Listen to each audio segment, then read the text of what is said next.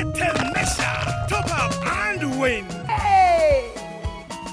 Nakwambia keso keso keso peke yake ndi imebaki tuweze kupata mshindi wa 10 million Kenya shillings. Naitwa Faith Njiru, natoka Kilifi.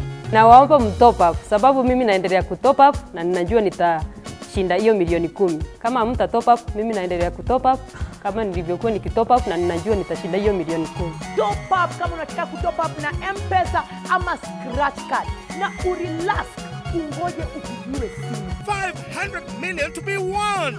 Watu wote tetemesha. Tetemesha na Safaricom.